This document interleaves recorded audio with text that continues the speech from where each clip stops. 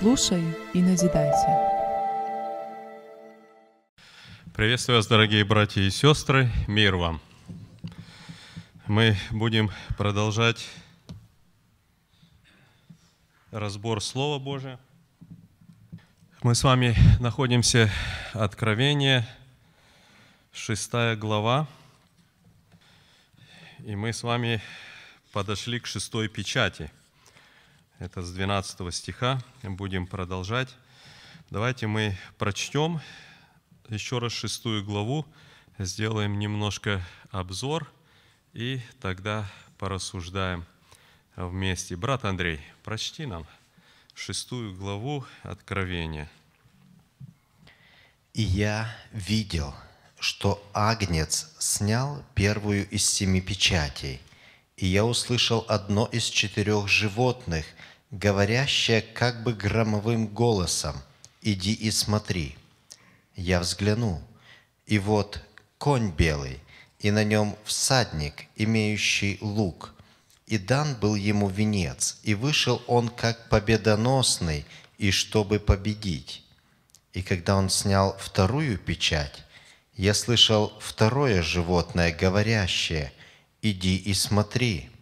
И вышел другой конь, рыжий, и сидящему на нем дано взять мир с земли, и чтобы убивали друг друга, и дан ему большой меч.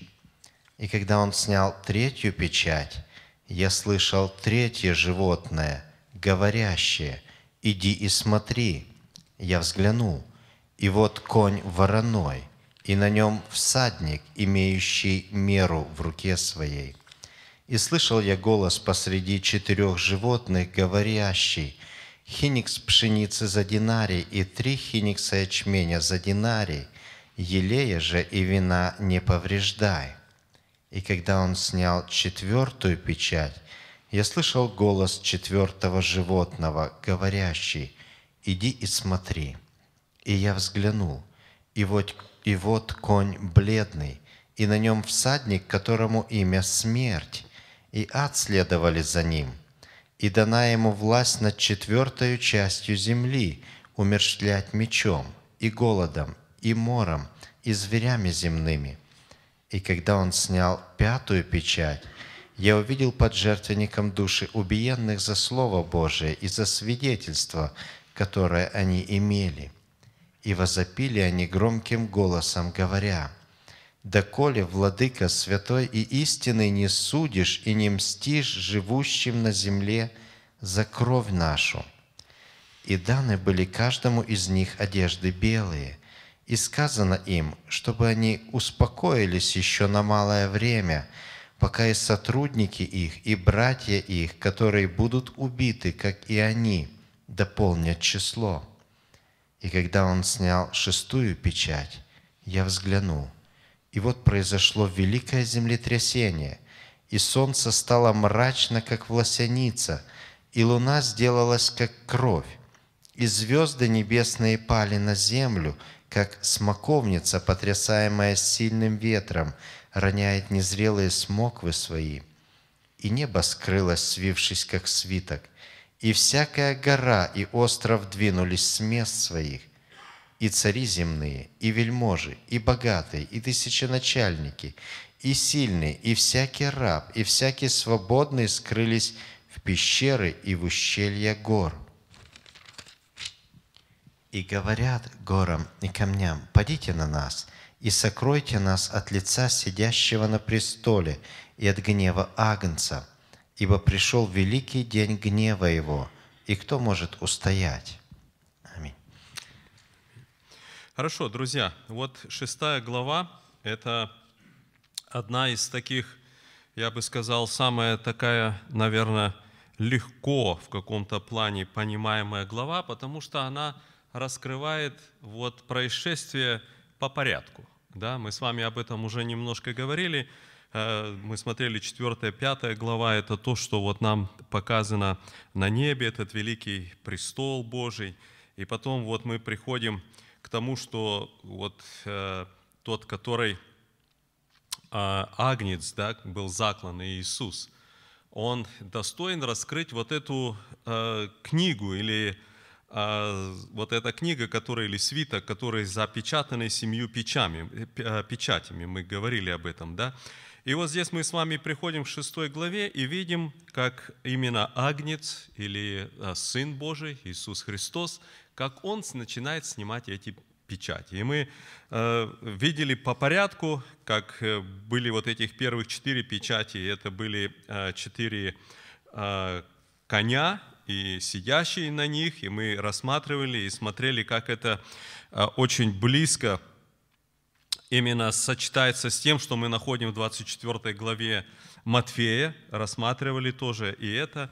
И вот мы последний раз э, рассуждали об этой пятой печати, когда мы видим, что именно вот снята печать и увидели эти души убиенные за Слово Божие, за свидетельство. И мы видим, что дано им еще время успокоиться на короткое время, э, вернее, и э, дано им было успокоиться еще на короткое время. И сказано почему, да? Потому что еще будут а, дополнены, еще будут убиты а, их братья, да, и дополнят число. И мы с вами говорили, что это уже то, что мы с вами называем великая скорбь. Это уже те события, о которых нам предсказывал сам Иисус Христос и апостолы. Да? И вот здесь в Откровении говорится об этом. И мы видим, что здесь находится как раз-таки еще много-много, да, те, которые дополняют число.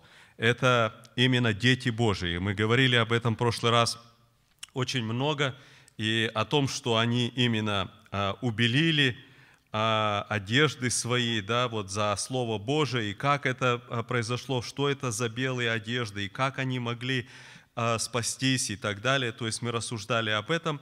И вот теперь мы подходим к 12 стих, и здесь 12 стиха последняя шестая печать. Ну как, не последняя, их семь, да, мы видим, что семь печатей, но здесь снимается вот шесть, и потом мы с вами видим седьмую уже позже, когда мы с вами а, подходим к восьмой главе. То есть здесь у нас потом седьмая глава, это как бы некоторая такая вот пауза и объясняется нам некоторые события. Но давайте мы сейчас посмотрим вот это с 12 стиха. Прочитаем еще раз эту шестую печать. И когда он, то есть Агнец, да, снял шестую печать, я взглянул, и вот произошло великое землетрясение, и солнце стало мрачно, как в лосенице, и луна сделалась, как кровь, и звезды небесные пали на землю, как смоковница, потрясаемая сильным ветром, роняет незрелые смоквы свои. И небо скрылось, свившись, как свиток, и всякая гора и остров двинулись с мест своих. И цари земные, вельможи и богатые, тысяченачальники и сильные, и всякий раб, и всякий свободный скрылись в пещеры и в ущельях гор, и говорят горам и камням, «Падите на нас и сокройте нас от лица сидящего на престоле и от гнева Ангца, ибо пришел великий день гнева его, и кто может устоять?»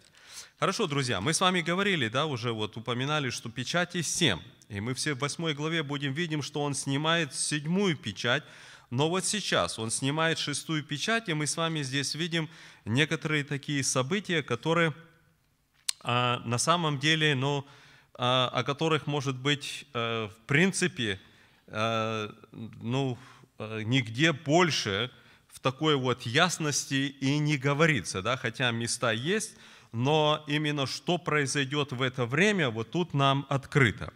Но давайте мы начнем э, с самого начала, да, с 12 стиха. Мы видим, что когда он снял шестую печать, произошло землетрясение. Потом второе, да, солнце стало мрачно, как власеница, и луна сделалась, как кровь. Давайте, может быть, а, остановимся пока что здесь. Какие у нас мысли есть по вот этому, может быть, а, тексту, да, по этому а, стиху? Что, о чем здесь, друзья, идет речь? Вот когда мы говорим о землетрясении, ну, с одной стороны, нам понятно, да, землетрясение. Вроде бы мы все это часто слышим, может быть, кому-то в жизни пришлось и переживать. Между прочим, не так давно здесь в Филадельфии было землетрясение, да, как бы вроде и, не ожидали, а все-таки вот и в этой местности тоже, оказывается, э, тряхнуло, да, это сколько, я не знаю, недели две-три назад, наверное, да, было. Вот. Но я хотел другое обратить внимание, друзья, посмотрите, написано «великое землетрясение». э, как мы это понимаем? Что именно произошло? Пожалуйста, какие у кого мысли, рассуждения на эту тему? Это великое землетрясение где? Ну, на земле где? В Филадельфии, в Москве. По всей земле. Вот посмотрите, друзья, хотелось бы обратить внимание, да, что это не будет какое-то, как мы с вами вот, ну, привыкли, где-то такое, знаете, ну, по местам, да, где-то вот одно место или еще что-то, да. А здесь говорится о великом землетрясении, да. То есть, э, и мы дальше немножко э, посмотрим, вот немножко дальше, 14 стих, посмотрите, да. «Всякая гора и остров двинулись». То есть это не было где-то в одном только месте, а это действительно вся земля потряслась, пришла в какое-то движение, да, не одно какое-то место а вся земля. Написано, что всякая гора, да, и каждый остров, да, вот они где-то вот что-то произошло. Какие еще у нас мысли есть по этому? Вы знаете, друзья, я на что хотел еще обратить внимание, что вот до того, что мы с вами видели здесь, э, вот э, пять печатей. Вот посмотрите, если коротко сделать маленький обзор, да, посмотрите, когда он снял первую печать, и на нем вот этот конь белый, да, который, ну, мы с вами уже говорили, что именно дано ему победить, вот венец на нем и так дальше, да, это мы говорили о том, что вот то, что фессалоникийцам говорится, провозгласится мир и безопасность. Потом, когда он снял вторую печать, мы с вами видим другой конь, рыжий или огненный, красный, да, и написано, что люди начнут убивать друг друга, взят, взят мир, мир земли. Потом третью печать – и мы видим конь э, э, вороной, да, и здесь мы видим э, определенное такое ограничение в пище, да, потом дальше четвертую печать. И мы с вами видим, что этот конь бледный, да, и вот э, смерть, и ему дана власть на четвертую часть земли умерщвлять. Первое мечом, потом голодом, ну, а потом моровая язна, звери. Потом пятую печать мы видим, что здесь а, убиенные за а, Слово Божие, за свидетельство Иисуса. Да? Я просто к чему где-то делаю маленький обзор. Обратите внимание, что все эти печати, да, в большинстве своем а, то, что происходит, да, делается как бы э, людьми. Да? Чего-то люди достигают, делают войны какие-то, результат там голод, еще там ограничения, все это. Да? Но здесь вдруг шестая печать, которая в принципе, по своей сущности, да, она отличается от всех остальных тем, что здесь ну, никакого, а, если так можно сказать, участия или воздействия со стороны человека нет. Даже то, что мы видели убиенных да, души, ну люди же убивали и так дальше. Да? Здесь мы видим никакого абсолютно участия. То есть, если в тех других случаях люди находясь, проходя через это, могли каким-то образом еще где-то думать или а, ну, винить да, как-то людей, какие-то личности, да, а, кто-то виноват, кто-то неправ, какое-то что-то люди пытаются решать, какая-то, э, ну, добиваться какой-то справедливости, там, война или еще что-то, или там сделали виноватые всех верующих, давайте истреблять еще что-то, да, то это уже никакого отношения к тому, что человек делает, не имеет. Абсолютно. Абсолютно, да.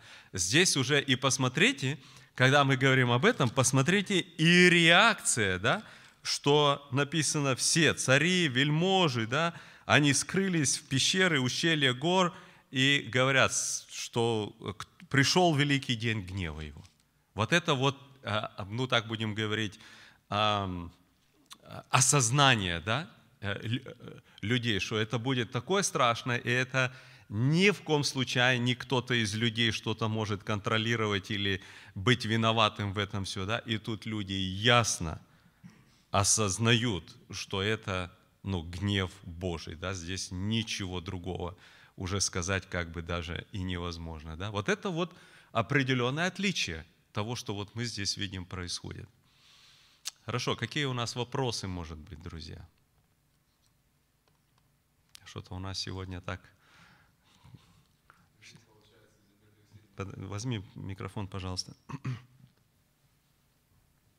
Получается, землетрясение не только на Земле, как бы во всей Вселенной потрясение великое, потому что и Солнце, и Луна повреждены, и звезды, как бы вся Вселенная вот в этом моменте охвачена была вот этим великим гневом и этим действием Божьим. Поэтому это вот, ну, явно настолько, да, потому что если были землетрясения, вот мы ну, читали историю, знаем, то разные реакции у людей были. А здесь настолько, что и земля была, и, э, была потрясена, и небо, и вся вселенная также была в этом замешана.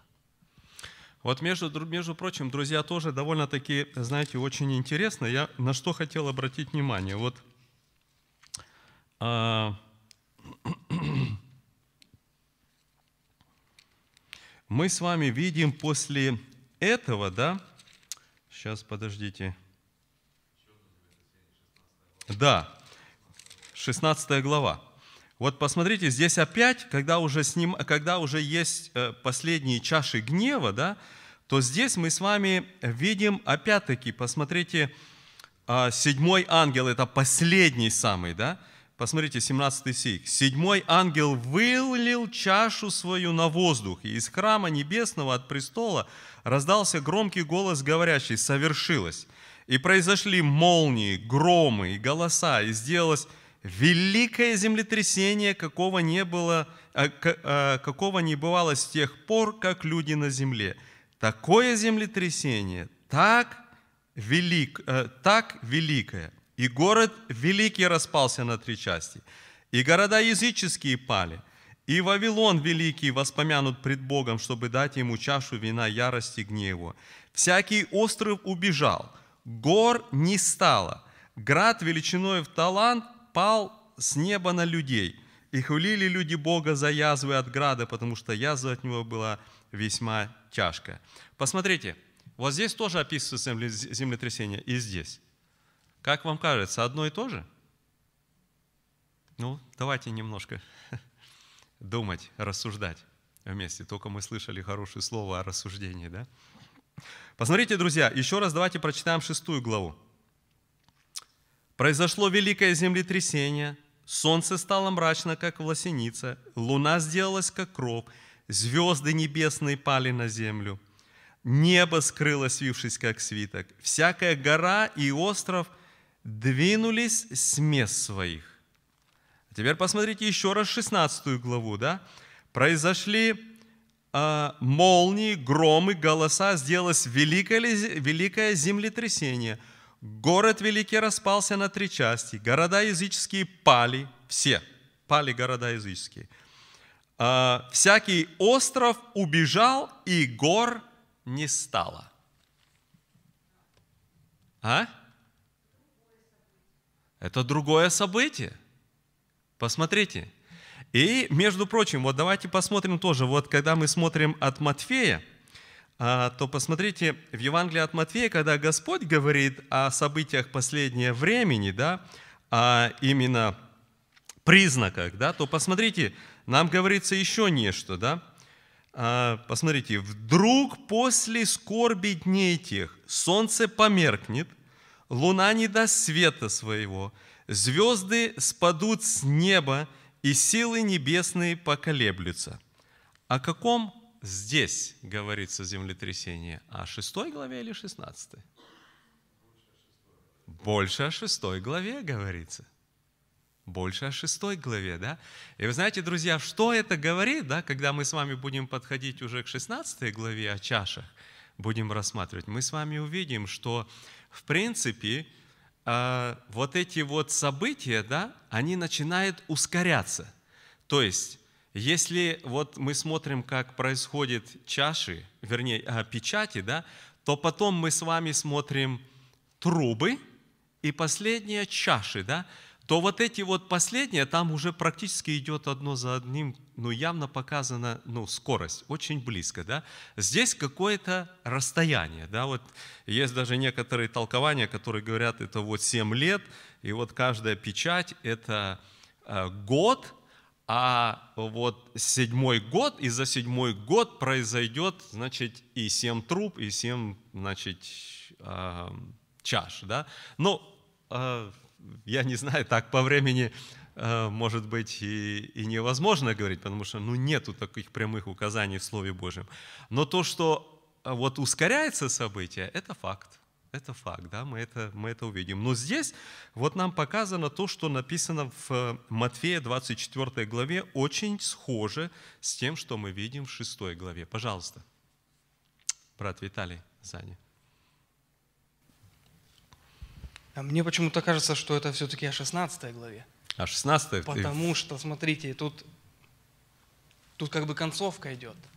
Угу. Он сказал, что будут эти, ну, солнце померкнет, и потом э, тогда явится знамение Сына Человеческого на, небе, тогда восплачут все племена земные и увидят Сына Человеческого, грядущего на облаках небесных, силою и славою великою, и пошлет ангелов своих с трубой громогласную, и соберут избранных его от четырех ветров, от края небес до края их.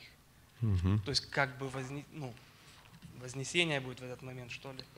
Ну да, здесь уже явно происходит э, пришествие и воцарение Господа дальше, когда читаем тысячелетнее царство. Да? То есть если считать, что между 29 и 30 стихом практически как бы все, то тогда оно где-то больше, конечно, по времени подходит к 16 главе. Да? Но по описанию где-то оно схоже именно вот с этим, да? потому что здесь, когда мы читаем а, в 16 главе, то здесь ну, гораздо мощнее, потому что вот описано здесь. Да? Ну, может быть и так. Мы здесь не будем сильно, наверное, отстаивать. Вот. Какие у нас еще мысли, друзья, или рассуждения? Я, знаете, друзья, хотел обратить внимание вот то, что вот брат Михаил уже подметил, да, что здесь не только землетрясение – Здесь какое-то, и вот, между прочим, тоже очень интересно, что когда смотришь э, ну, греческое слово и, и перевод, э, да, то, знаете, интересно, что а, не стоит простое слово, как землетрясение, а стоит, ну вот, знаете, просто трясти. Вот есть слово для землетрясения, а есть слово потрясти, да? И вот здесь вот где-то что-то а, сходится вот именно с вот этим, да, какое-то потрясение, но потрясение, вот посмотрите, в 13 стихе мы э, видим, да, что звезды пали, как бы потрясаемые сильным ветром, да, опять-таки, а, вот потрясение даже Вселенной, звезды, да, вот что это такое? То есть не вот просто земля трясется, да, а представьте себе какое-то какое страшное событие, когда, ну, в общем-то, все трясется, и небо трясется. И смотришь, и, и звезды падают, да, что это? Метеориты или, а, или что другое, да, или как вот, но оно происходит что-то в этом плане, да, то есть нам вот показано, что не, не вот только Земля, да, великая трясение, как вот Земля, так, так, вот и, э, так вот и Вселенная тоже. Вот это то, что показано здесь. Знаете, я хотел еще вот, чтобы мы с вами посмотрели еще несколько мест, о которых, которые нам как бы показывают а, немножко наперед об вот этих событиях. Вот а,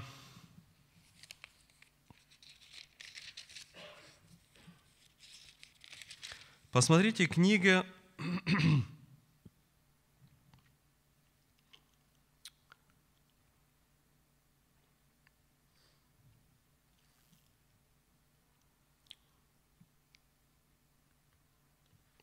Если посмотреть, книга Иаиля.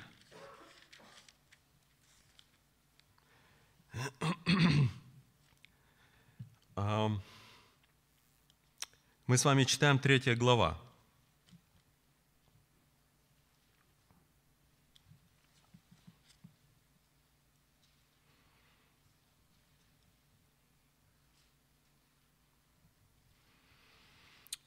Смотрите, мы будем читать э, с 11 стиха. Спешите и сходитесь все народы окрестные и соберитесь туда. Господи, веди Твоих героев. Пусть вас воспрянут народы и не зайдут в долину Иосафата, ибо там я восяду, чтобы судить все народы отовсюду.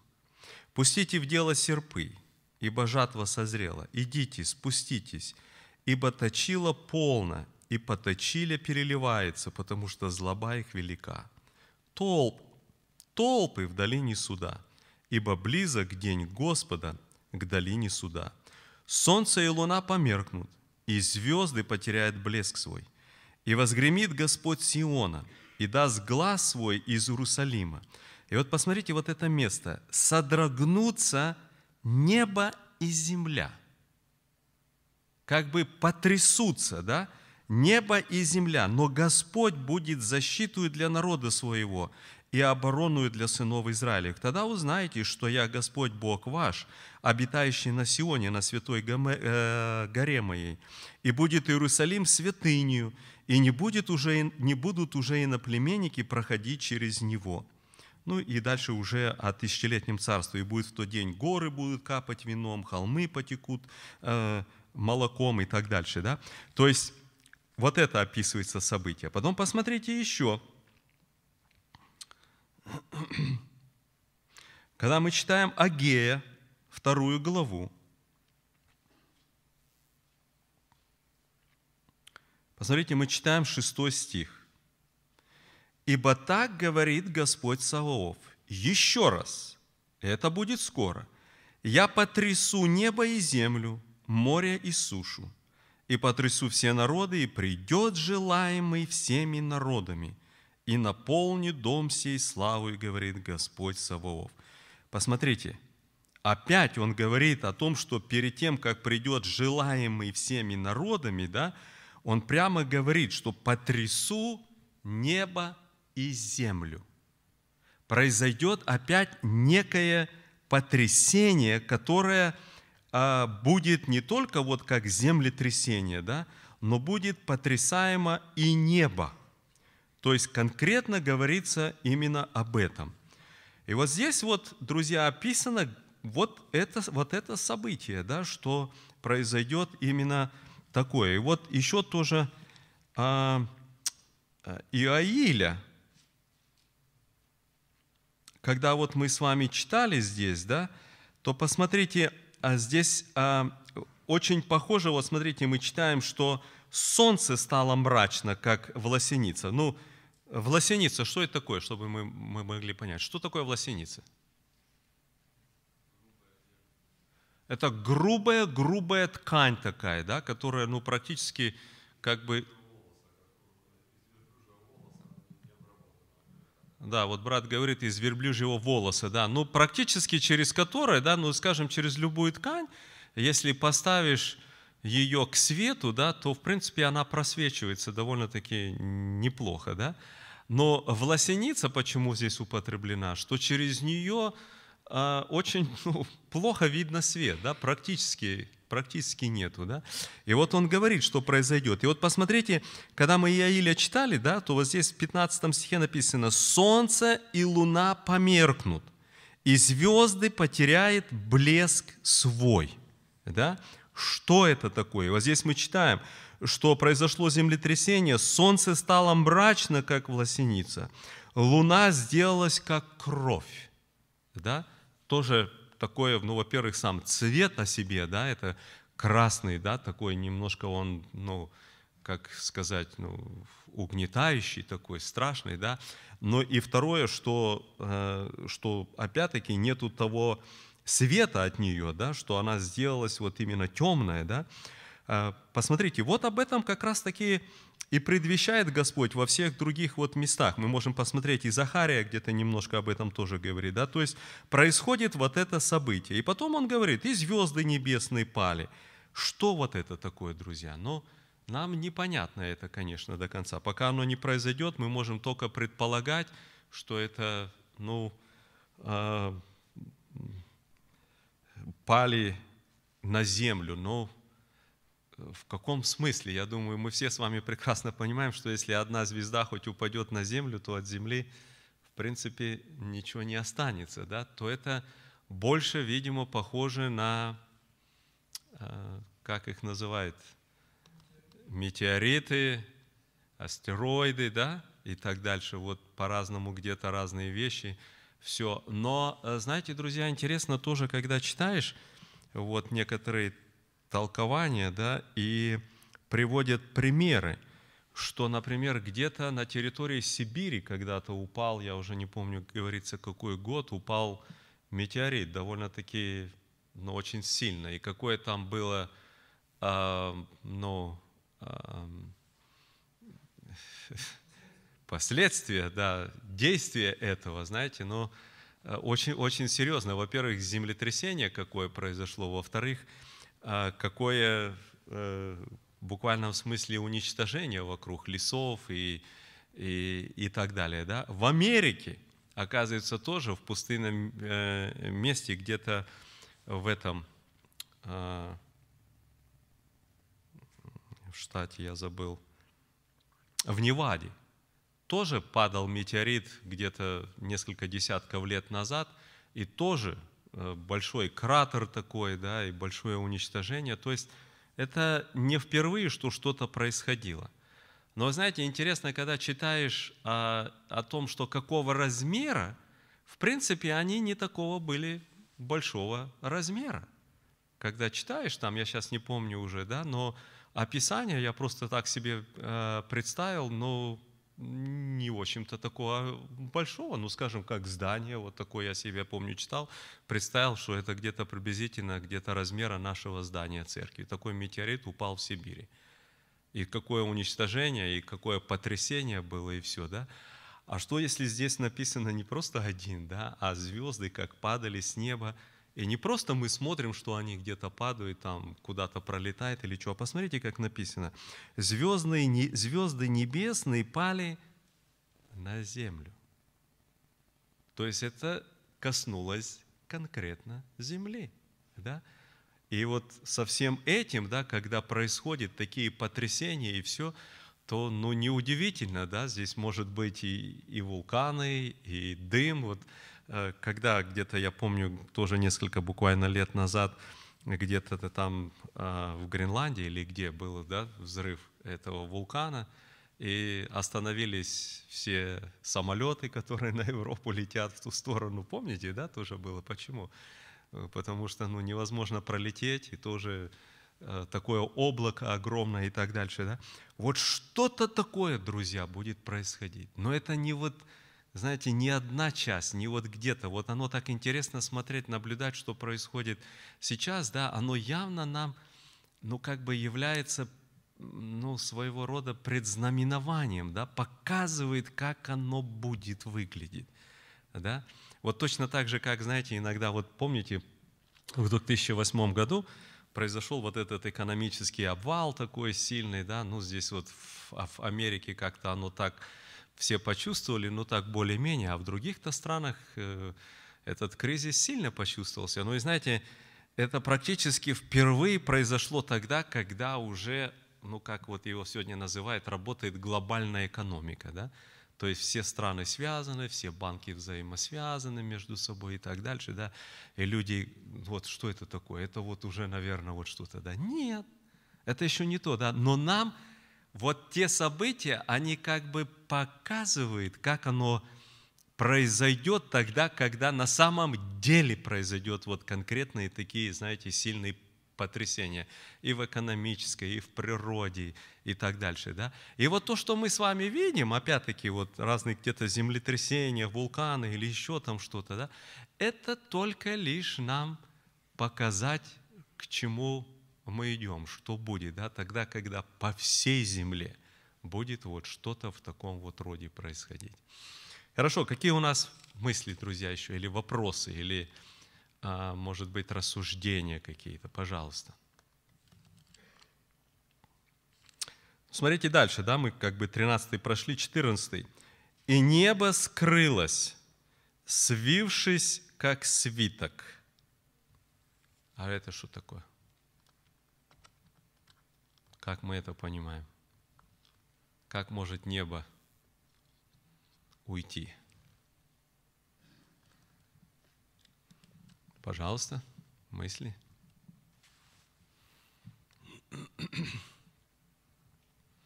Мы можем себе представлять существование Земли без неба? Как это? Что это такое? Как это может быть, что небо, ну смотрите, вот скрылось, да? И более того, свившись как свиток, как будто свернулось и нет, и, и нету, да? Что это такое, друзья? Как это мы себе можем представить? О чем здесь речь идет?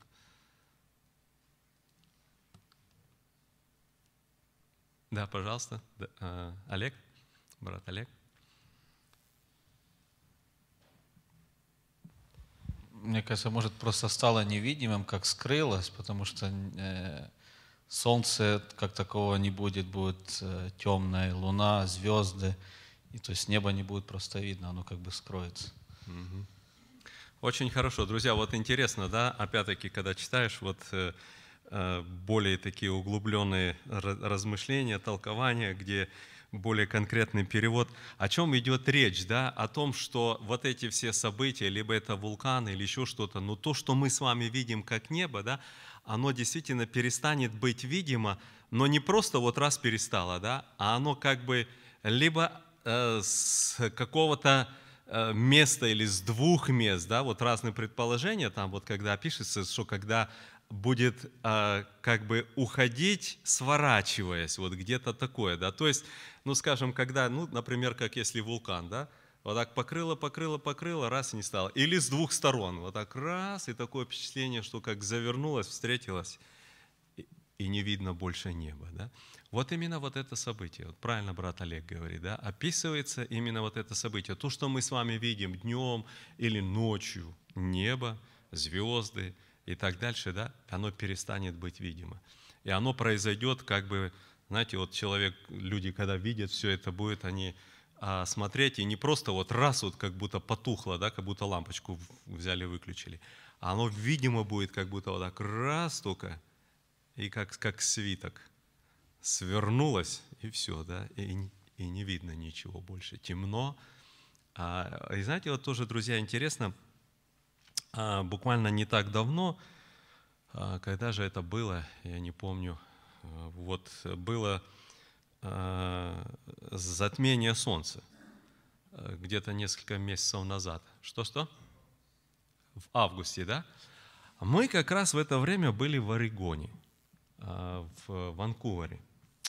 И там как раз оттуда, на берегу океана, было вот это место, откуда можно было видеть полное затмение. Мы сделали даже фотографии, все там, где мы были, взяли эти э, стеклышки из-под э, там брата, у которого мы остановились, из-под э, сварочного аппарата. И через него можно смотреть, и через него мы делали фотографию. То есть так можно глаза повредить, если смотреть, а так через него видно. И осталось, ну, маленькая, вот где мы смотрели, маленькая щелочка осталась. А так, э, скажем, если проехать бы еще было пару часов дальше к океану, то можно было бы видеть полностью закрытое солнце. И некоторые из церкви поехали туда, рассказывали, потом мы как раз там были на общении. Но мы вот поднялись утром, залезли на вот крышу, смотрели, все это. Но я скажу, друзья, пару вещей. Во-первых, да, это Э, какое-то, знаете, такое чувство зловещее. По-другому, ну, не назовешь. Вот вроде бы день, да, и такое, что, ну, вот как бы уже вот прямо перед закатом, прямо вот, знаете, серо, темно вот такое, да, но не просто как вот вечер, а какое-то зловещее, знаете, такое, ну, очень неприятное. Но другое, что интересно, а, холодно стало, стало конкретно холодно. Мы послали э, мальчишек, нам поприносили там куртки, пиджаки. Буквально вот не стало, это вот лето было, да, не стало солнца, все, и вы знаете, это конкретно нам стало холодно. Мы быстренько поодевались, все смотрим, все. И вот мы пробыли там буквально на этой крыше, я не знаю, часа полтора где-то, да, оно стало уходить, все. И температура поднялась, я помню, мы по градусам вот следили там все, да, на 20 с лишним градусов по Фаренгейту, ну я не знаю, как перевести на Цельсия, да, поднялась температура, стало жарко, ну лето, знаете, то, то, то было холодно, то прям стало жарко. Я почему, друзья, говорю это, что когда эти события будут, это не просто будет ам, ну вот, смотришь или еще что-то, да? А это действительно будет ощутимо во всем, во всем, да? Это связано со всей жизнью, да? Это и температура, и воздух, и и все остальное, и растения и так далее. Да? То есть это действительно будет что-то очень зловещее, страшное, плюс все трясется вокруг. Да? Вот о чем нам говорит Писание. Какие у нас еще есть мысли, друзья, или вопросы? Ну, идем дальше тогда, да? «И всякая гора и остров двинулись с мест своих». Вот здесь тоже, друзья, я хотел обратить наше внимание, что а, а, написано, что двинулись, то есть а, как бы, ну, пошевелились, или как это сказать правильно, да? Вот. Какая разница между 16 главой этой, да? Там исчезли. Гор не стало и островов не стало. Здесь они только пошевелились подергались. Каждый, написано, да, что всякая гора и остров двинулись с мест своих. Ну и потом дальше мы читаем 15 глава. «И цари земные, и вельможи, и богатые, и тысяченачальники, и сильные, и всякий раб, и всякий свободный скрылись в пещеры и ущелья гор». Вот опять-таки, смотрите, разница. Там гор не стало, а здесь они прячутся в горах.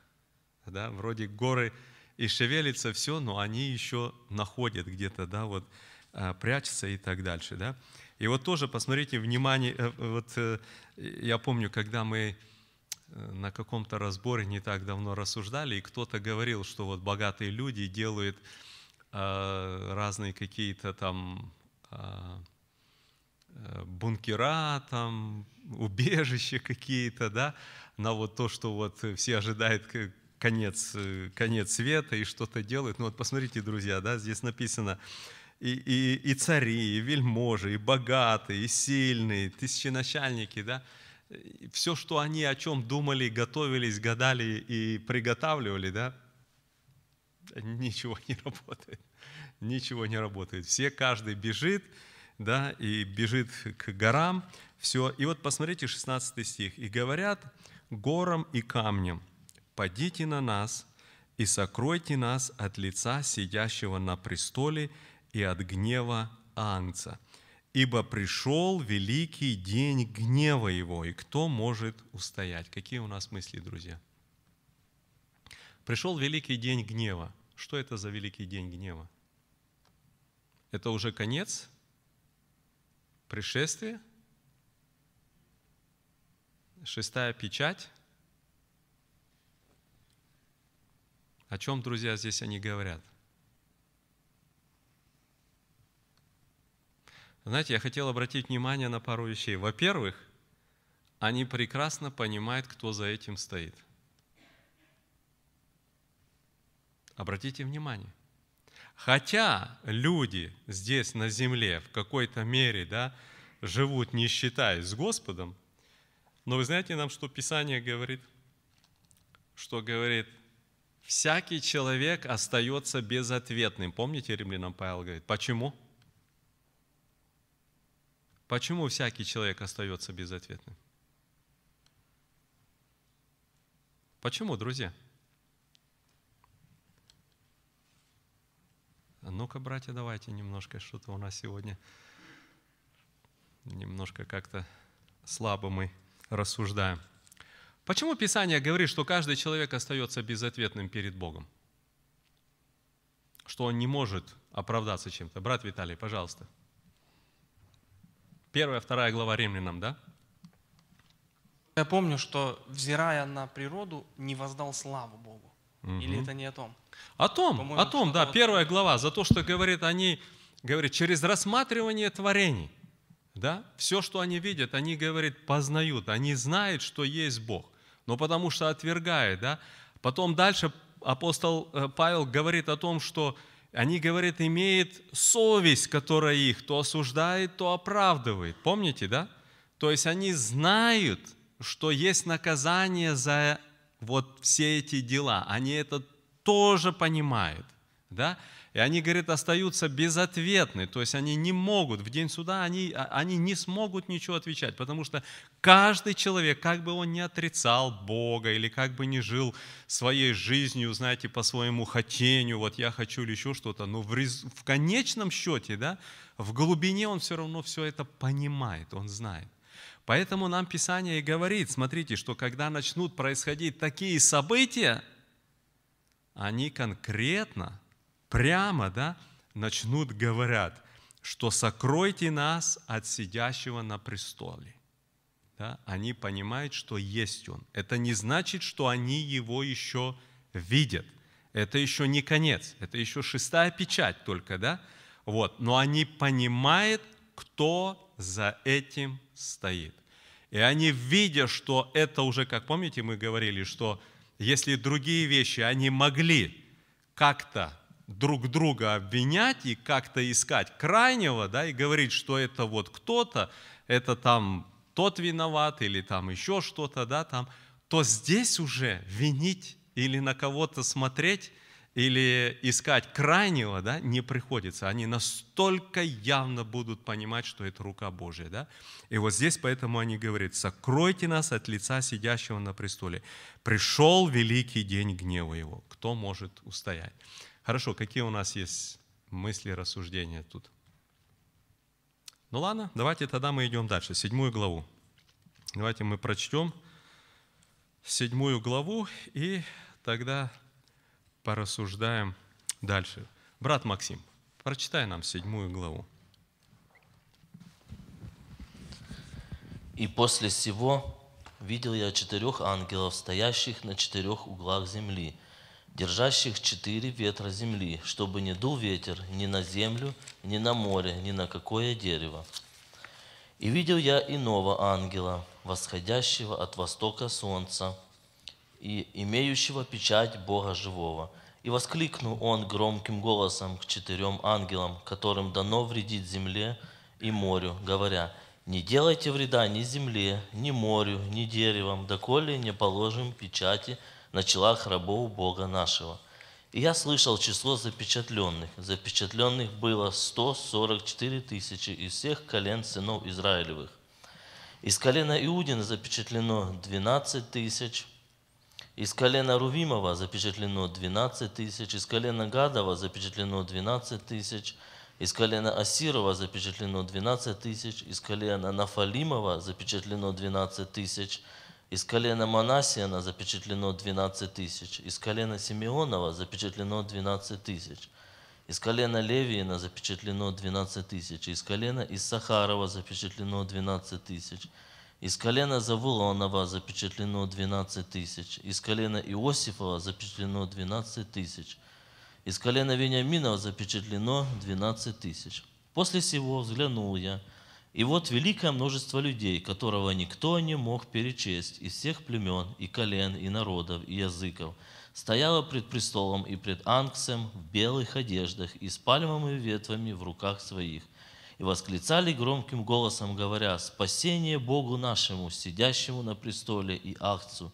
И все ангелы стояли вокруг престола и старцев, и четырех животных, и пали перед престолом на лица свои, и поклонились Богу, говоря, «Аминь, благословение и слава, премудрость, и благодарение, и честь, и сила, и крепость Богу нашему во веки веков. Аминь». И начав речь, один из старцев спросил меня, «Сии облеченные в белые одежды, кто и откуда пришли?» И сказал я ему, «Ты знаешь, господин». И он сказал мне, «Это те, которые пришли от великой скорби. Они омыли одежды свои и убелили одежды свои кровью акца. За это они пребывают ныне перед престолом Бога и служат Ему день и ночь в храме Его, и сидящий на престоле будет обитать в них. Они не будут уже ни алкать, ни жаждать, и не будут пить их солнце, не будет палить их солнце и никакой зной, ибо агнец, который среди престола будет пасти их и водить их на живых источниках вод, и отрет Бог всякую слезу с очей их. Хорошо. Посмотрите, друзья, ну давайте мы сейчас посмотрим вот с первого стиха, да, значит, и после сего. Опять-таки показана здесь некоторая последовательность, да, но введено э, вот смотрите, мы с вами видели седьмую, вернее шестую печать, и потом обратите внимание на этой же странице, следующая восьмая глава, и мы здесь читаем, «И когда он снял седьмую печать». То есть между шестой и седьмой печатью, да, здесь нам дано своего рода как, как пауза какая-то, да, А, показано некоторые события, а, вот произошли на небе а, до того, как вот открывается нам вот эта седьмая печать, последняя седьмая печать. И вот посмотрите, мы видим, после всего видел я четырех ангелов, стоящих на четырех углах земли. Ну давайте тут остановимся. Что это значит стоять на четырех углах земли? Сколько углов у земли? Север, юг, запад, восток. Да? То есть мы с вами понимаем, да, что земля это не квадратный какой-то кусочек где-то, да? Вот, то есть здесь не об этом идет речь. Да? Образное выражение как бы с четырех сторон. Да? Ангел стоит с севера, с востока, с запада, юга и так далее. Да? Теперь посмотрите еще, что интересно. Держащих четыре ветра земли, чтобы не дул ветер ни на землю, ни на море, ни на какое дерево. Что это такое? Чтобы не дул ветер. О чем тоже идет речь? Давайте, друзья, немножко рассуждать, думать. О чем идет речь? Чтобы не дул ветер не будет ветра, на этот период не будет ветра, да? Не будет ветра, хорошо или плохо? Хорошо. Если это в буквальном смысле не будет ветра, да, мы знаем, что ветер это, ну, мы, может, не придаем значения, но это действительно очень важный компонент того, что мы называем природа, что необходимо для жизни, да. Это, знаете, и дождь, Э, из-за ветра, да, он дует, и, и опыление, и очищение, э, все, все запахи, еще что-то, да, все это вот эти приводится в движение ветром. Я думаю, мы это где-то понимаем. Но, друзья, я хотел обратить наше внимание еще вот на что. Смотрите, четырех ангелов, стоящих на четырех, на четырех углах земли, да, держащие четыре ветра земли – а, но посмотрите второй стих. «И видел я иного ангела, восходящего от востока солнца, имеющего печать Бога живого. И воскликнул он громким голосом к четырем ангелам, которым дано вредить земле и морю, говоря, не делайте вреда ни земле, ни морю, ни деревам. Да? Посмотрите, эти четыре ангела, которые стоят, а что они должны делать? Вредить что? Ветром вредить. Значит, посмотрите, эти четыре ангела, они реально стоят для того, чтобы делать наказание, делать вред, да, вредить земле и морю. И когда им говорится о том, чтобы, что они держат четыре ветра земли, речь идет о, э, посмотрите, держащих четыре ветра земли, чтобы не дул. Речь идет просто лишь о том, чтобы э, ветеротик э, подул, чтобы был немножко ну, движение воздуха? Или о чем идет речь? А? Хорошо. Об ураганах, да? Еще какие, друзья, мысли? Что-что? Суды Божии, кто-то еще там говорит? Вот э, давайте прочитаем пару мест, друзья. Откройте книгу, э, кто-то прочитайте книга пророка Иеремия, 49 глава, 36 стих. Ну и там же рядом 51 глава, 1 стих. И а, второе, это слова Давида, вторая книга Царств, 22 глава, по-моему, или 11, или 16 стих. Ну-ка, э, кто у нас откроет? А, давай, брат Андрей Капутюк, прочитай 2 Царств, 22, и там или 11, или 16 говорится о ветре, Давид говорит. И кто у нас прочтет э, Иеремия. Да, давай, пожалуйста, Максим, 49, 36 и 51, 1. Да, сейчас дадут микрофон. «И наведу на Елам четыре ветра от четырех краев неба, и развею их по всем этим ветрам, и не будет народа, к которому не пришли бы изгнанные еламиты». Окей, посмотрите, он говорит, пошлю четыре ветра. И как, и что они делают? Это просто ветер? Или, ну, подожди, подожди, Максим, еще 51 глава, тоже Иеремия. 51 глава, 1 стих. Так говорит Господь, вот я подниму на Вавилон и на живущих среди него противников моих. 51 это, да? Правильно? Да, да, 50, 51, 1, да. Мгм. И, и, и чуть-чуть И дальше. пошлю на Вавилон вея- веятелей, и развеют его, и опустошат землю его. Ибо в день бедствия нападут на него со всех сторон. Хорошо, хорошо, вот именно до этого времени, да, А, до, до этого места. Посмотрите, опять он говорит, я пошлю веяние, да, пошлю, когда мы читаешь э, дословно ветер, да, он говорит, на Елам пошлю ветер, и на Вавилон пошлю ветер. И что этим нам говорится, когда Господь говорит о том ветре? Что-что? Опустошать землю. То есть это конкретно гнев Божий, действие Божие. Это не просто речь идет о том, чтобы ветерок, который шевелит листья. Понимаем, да, об этом? Пожалуйста, брат Андрей. А, Вторая книга царств, 22 глава, посмотри, либо 11 стих, либо 16, там Давид, а, песнь Давида произнесена, и там он тоже говорит о ветре. 11, да? И херуми, на херувимов, и полетел, и понесся на, э, на крыльях ветра. Ну, и, и чуть-чуть дальше прочитай, да? И, и мраком покрыл себя, как э, сенью, сгустив воды облаков небесных.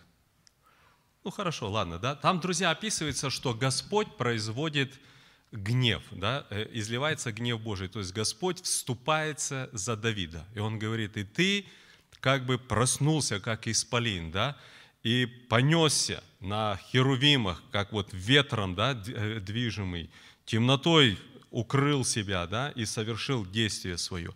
И опять-таки он там говорит, что это сравнивает это с ветром. Я просто, друзья, почему вам это говорю, да? Посмотрите, здесь, когда нам говорится четыре ангела на четырех углах земли, держащие четыре ветра, чтобы не дул, да? Это те четыре ангела, которым дано вредить землю и морю. Речь идет не просто о том, чтобы не было движения листиков, или тучки не двигались, или еще что-нибудь. Не об этом идет речь.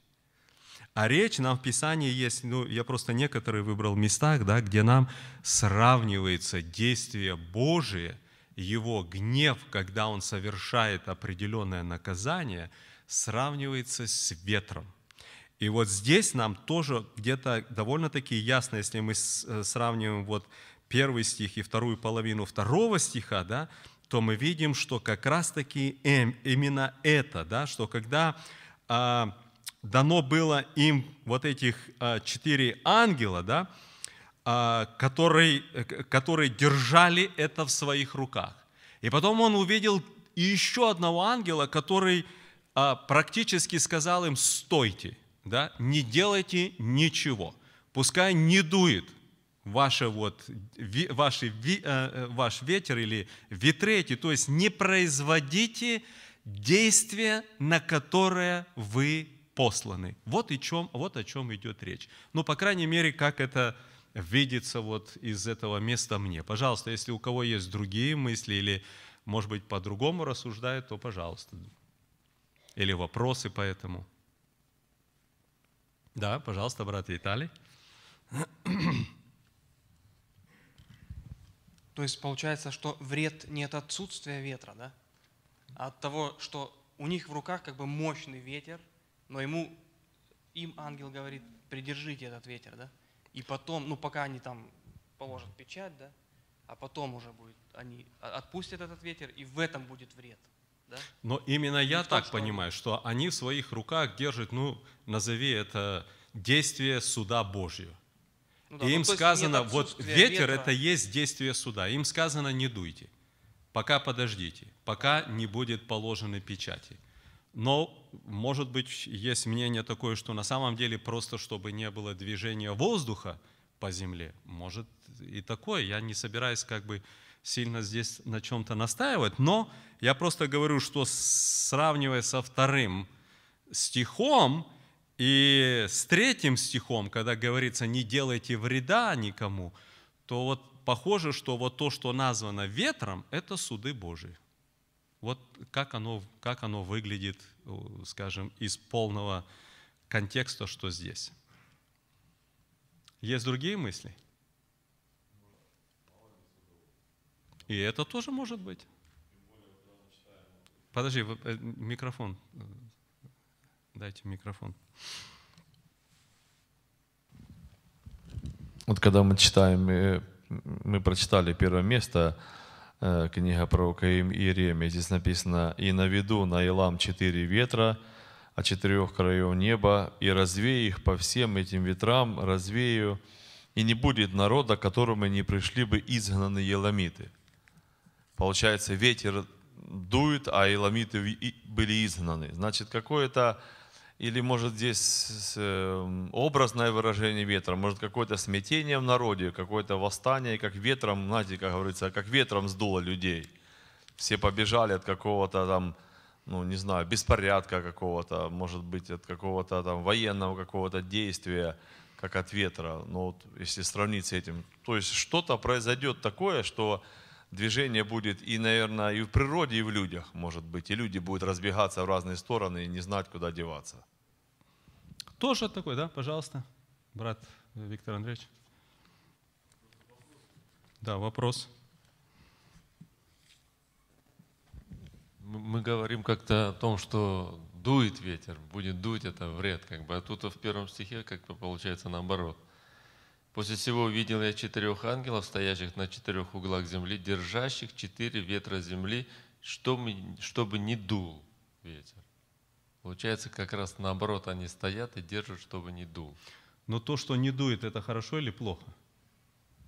Пока положат печать. Нет. А от чего тогда останавливает их третий, это, пятый ангел, вернее? Мгм. Они наоборот держат, чтобы не дул. И он говорит, не делай вреда. Даже там и, и дальше он не говорит про ветер ничего, просто не делай вреда. На земле ничему. То есть они как бы удерживают этот ветер. Они наоборот э, держат ветер, чтобы он не дул. Так получается в первом стихе. Да, да, очень хорошо подмечено. Ну и давай дальше. Ну, я, я только вопрос задал. По- Потому что мы наоборот рассуждаем о том, чтобы он дул, а тут наоборот не дул. Посмотрите, ну как тогда взять, согласовать вторую половину второго стиха, да? И воскликнул он громким голосом к четырем ангелам, которым дано вредить земле и морю, говоря, не делайте. Или это и уже другие четыре ангела, а не те, которые держат ветер? Хорошо, хорошо, я понимаю то- это, да, но вот у меня тогда встает второй вопрос. Смотрите, первый стих.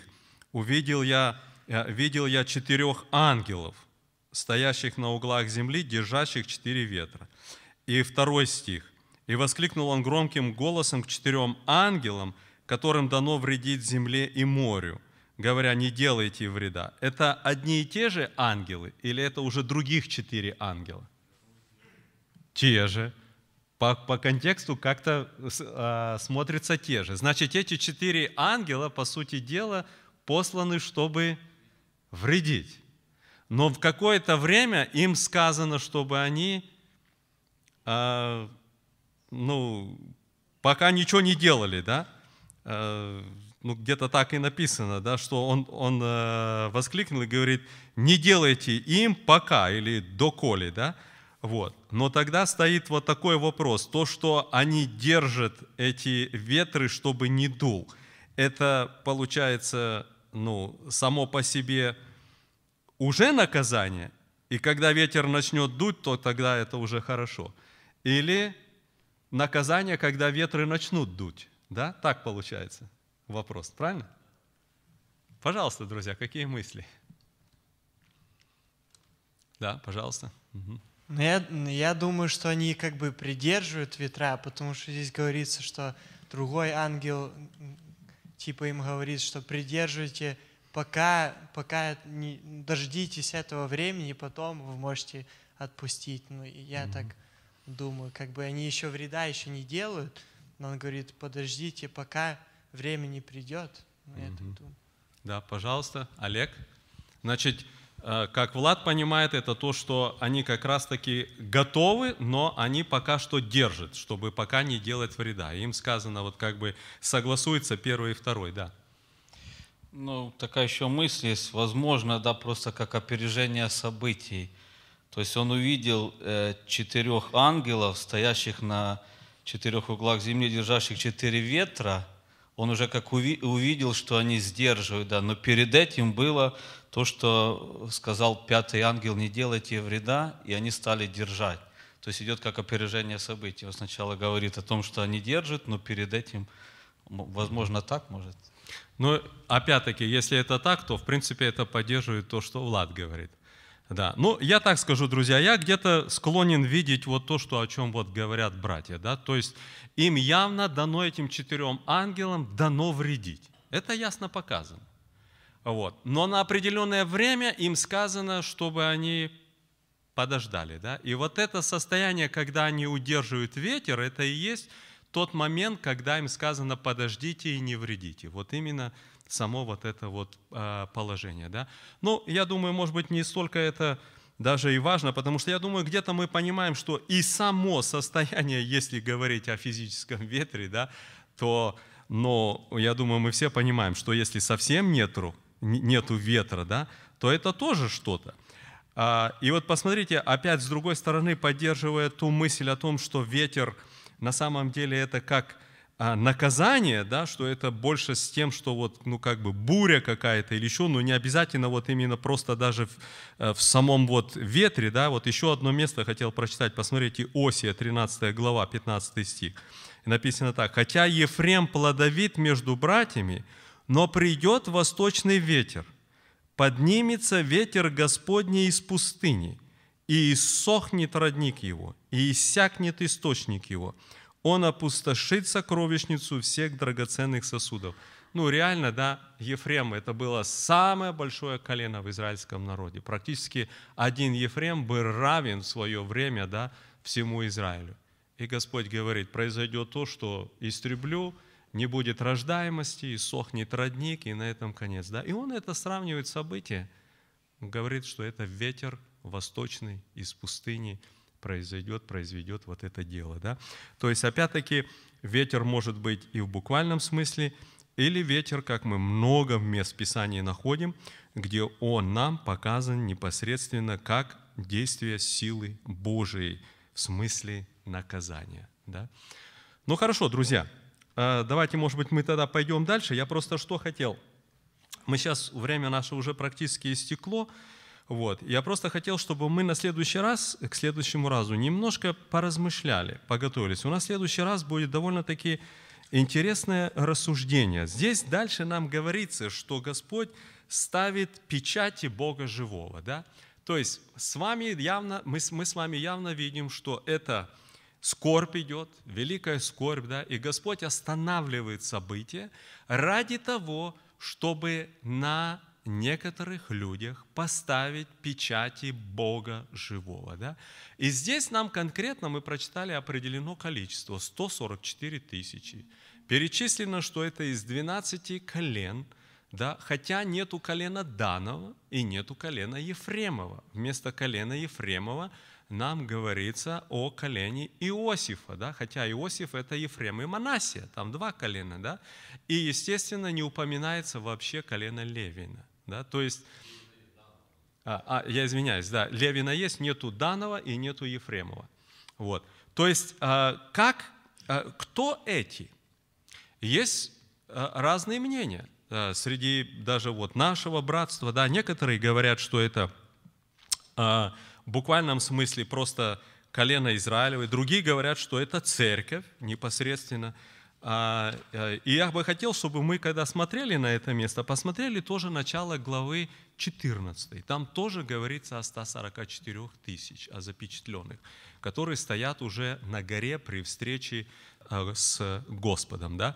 Вот. Чтобы мы могли немножко порассуждать об этом, и на следующий раз это не то, что, знаете, мы будем друг другу доказывать, или что мы понимаем, что э, это каждый имеет право на то, чтобы э, ну, понимать где-то по-своему все, но чтобы нам более полнее увидеть эту картину, да, что мы из себя, вернее, что это из себя представляет. Поэтому давайте мы на следующий раз подготовимся тоже к этому. У нас, если даст Бог жизни, все будет нормально, то в следующую среду мы будем иметь а, разбор. А сейчас, что касается объявлений, заканчивая наше служение, просто хотелось напомнить о том, что у нас будет